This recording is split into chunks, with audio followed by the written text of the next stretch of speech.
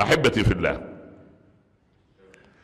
المؤمن سبحان الله يحاط ليل نهار برحمة الرحمن سبحانه. ورب العباد عز وجل منذ أن أوجد هذه الأرض وخلقها في يومين وقدر فيها أقواتها في أربعة أيام سواء للسائلين ما جعل سبحان الله العظيم أمر الأرض ولا أمر السماء لعبد من عباده. ولذلك صدرنا الخطبة بقول الله عز وجل في حديثه القدسي أنا ملك الملوك ومالك الملك. لأن لا يطلق لا يطلق على ملك الملوك إلا رب العباد عز وجل سبحان الله.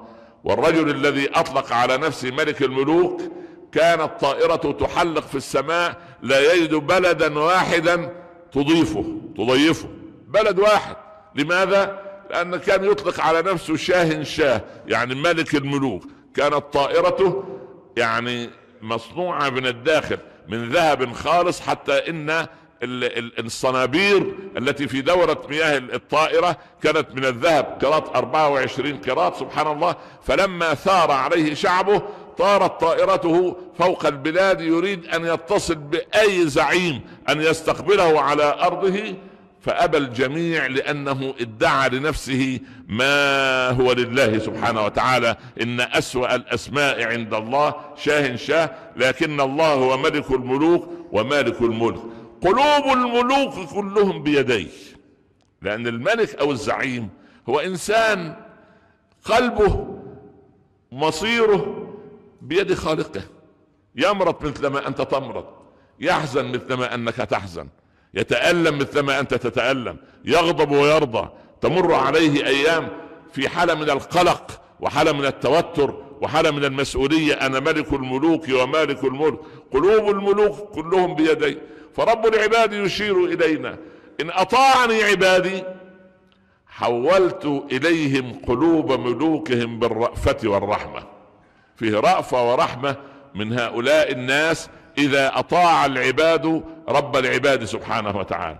ولذلك أنت لاحظ الأيام التي تستقيم فيها أنت على طريق الله.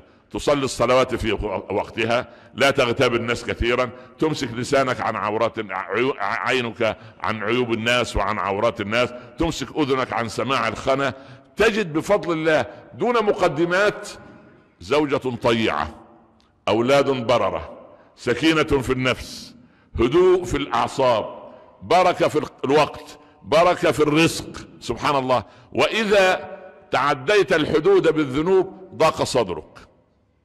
ويعني سلبت البركة من وقتك.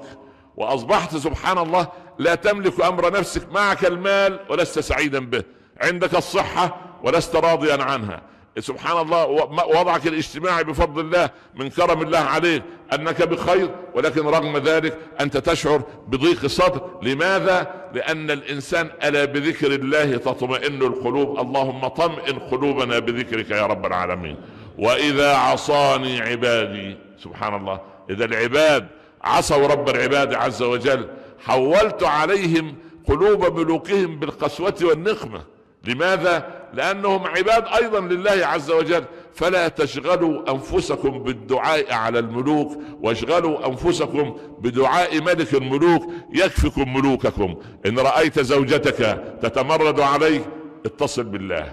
إن أردت إن وجدت عقوقا من ولدك أو تمردا من ابنتك عد إلى رب العباد عز وجل. إن وجدت مديرك في المصلحة أو في المؤسسة أو الموظفين الذين يعملون تحت يديك يناكدونك ويكابدونك ويحملوك فوق الطاقة صل نفسك بالله سبحانه وتعالى فإذا وصلت نفسك بالرحمن الرحيم وأوجد الرحمة في في قلوب هؤلاء لك. تجد أنهم سبحان الله يعني أصبحوا طيعين لك. لماذا؟ لأن لأنك طوعت نفسك لملك الملوك ومالك الملك. اللهم طوع قلوبنا لك يا رب العالمين. أقول قولي هذا وأستغفر الله لي ولكم.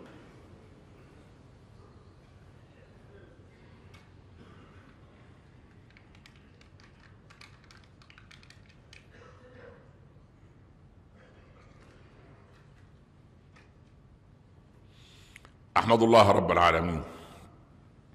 وأصلي وأسلم على سيدنا رسول الله صلى الله عليه وسلم. ثم أما بعد أحبتي في الله مد القوم أيديهم لمبايعة رسول الله صلى الله عليه وسلم على أن إن هاجر إليهم بيثرب حتى تصير المدينة المنورة أن يمنعوه مما يمنع منه أولادهم وإخوانهم وابائهم وأمهاتهم وزوجاتهم ويدافعوا عنه. أوقفهم أبو الهيثم بن التيهان. اذا الغلام هذا له حظوة في قومه أن يقف الكبار ويتوقفوا. قال على رسلكم يا رسول الله أسألك سؤالا. انظر إلى العبقرية المبكرة.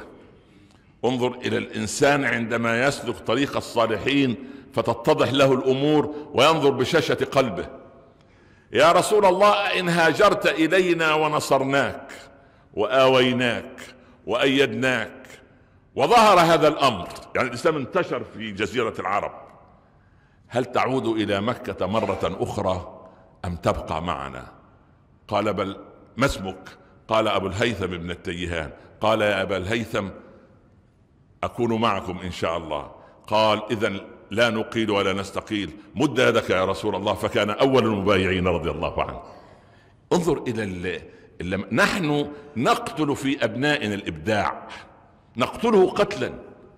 الولد لم يولد كما قلت لك يكره القراءة. أمه التي تكره القراءة. أبوه الذي يكره القراءة. كلاهما يكرهان بعضهم بعضا.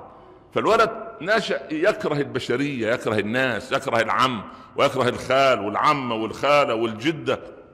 والجدة والجد لماذا؟ لأن يأخذ من كراهية وغباء أمه. وصلافة وجفاء أبيه. لا يا إخوة نحن نريد أن نقدم جيلا صالحا حتى يقبلنا رب العباد عز وجل. يعني إن الأمور إذا يسرتها تيسر وإن صعبتها تصعب. أما أحوالنا التي لا تخفى على أحد فهذا مدار حديثنا إن شاء الله بعد الصلاة. اللهم اجعل جمعنا هذا جمعا مرحوما. وتفرقنا من بعده تفرقا معصوما. لا تجعل بيننا شقيا ولا محروما. فك اللهم الكرب عن المكروبين سد الدين عن المدينين اقض حوائجنا وحوائج المحتاجين ارحم أمواتنا وأموات المسلمين ارزق بناتنا الأزواج الصالحين وأبناءنا الزوجات الصالحات. وفق الصالحين للصالحات بعضهم لبعض يا رب العالمين. اللهم كن مع أبنائنا المضطهدين في كل مكان. اللهم قوهم يا أرحم الراحمين. اللهم ارحمهم يا أكرم الأكرمين. اللهم اغفر لنا وارحمنا وأنت خير الغافرين. اجعل هذا البلد آمنا مطمئنا. سخاء رخاء وسائر بلاد المسلمين. واختم لنا منك بخاتمة السعادة أجمعين. وصلى الله على سيدنا محمد وآله وصحبه وسلم. بسم الله الرحمن الرحيم والعصر. ان الانسان لفي خسر الا الذين امنوا وعملوا الصالحات وتواصوا بالحق وتواصوا بالصبر. صدق الله ومن أصدق من الله قيلا. نقول حديثنا بعد الصلاة إن شاء الله وأقم الصلاة. قوموا إلى صلاتكم يرحمكم الله. أحمد الله رب العالمين وأصلي وأسلم على سيدنا رسول الله صلى الله عليه وسلم. ثم ما بعد. مرحبا أحبتي في الله مرة أخرى بعد آه، انقطاع آه، الكهرباء أو انقطاع التيار بيني وبينكم لكن لم تنقطع المودة ولم تنقطع الدعوات. وأكيد أنتم عكفتم على الخطب السابقة لسنوات سابقة وحاولتم تطبيقها وتنفيذها. يعني كلام يعني كده. قال الحسن البصري بعد أن كرر خطبة جمعا ثلاثة. حسن البصري ده عبارة عن منبع علم. بس خطب خطبه الجمعة جه الجمعة اللي بعدها نفس الخطبة. الجمعة اللي بعدها نفس الخطبة ثلاث خطب. فالناس زي حضراتكم كده يعني واحد كده جريء زي حضرتك كده قال له يا أستاذ يا مولانا يا فضيلة الشيخ يا إمام. يعني حفظناها خلاص حفظناها. قال إن عملتم بها قلنا لكم غيرها. إيه رأيكم نكرر الخطبة دي الأسبوع الجاي إن شاء الله كنا من أهل الدنيا؟ في الإخوة بارك الله فيهم في مسجد في لندن. من ازدحام صلي ثلاث جمع. كان جمعتين وبقى اذبح ثلاثة. فبعد ما انهيت الخطبة ما عنديش فكرة. المهم قال يا شيخ لو سمحت انتظر. دول المجموعة ده تمشي ونصف ساعة بس وهنعمل إيه؟ خطبة ثانية. حاضر. فكل الناس خرجت ما عدا طبعا الإيه؟ المؤذن والإدارة بتاعت المسجد قعدوا. فلما لقيت إن دول سمعوا الخطبة قبل كده ثلاثة أربعة وقلت خطبة من موضوع تاني. قالوا في كمان خطبة ثالثة. سبحان الله عجبتكم الحكاية. المهم خطبنا خطبة ثالثة. المهم يعني قالوا والله جانا شيخ ربنا يحفظه ففوجئ بالمسألة دي وفي شيوخ ربنا يبارك فيهم يجيدوا تحضير الخطب. وأنا لا أجيد تحضير الخطب. مع يعني أكثر من 40 سنة لا أعرف كيف تحضر الخطبة. أنا كده أطلع المنبر والمؤذن يأذن أبص على الوجوه الطيبة وربنا يبع يعني يرسل من فضله بوجوهكم الطيبة. المهم الأخ الكريم الشيخ طلع المنبر قالوا فاجئوه بعد الخطبة. يا شيخ في جمعة ثانية. فطبعا خطب نفس الخطبة. قال أنا رأيت إعجاب الوجوه في الخطبه خطبتي في الجمعة الأولى. فأردت أن أثير إعجابكم مرة أخرى لأنكم لم تعجبوا بعد. فالمهم يعني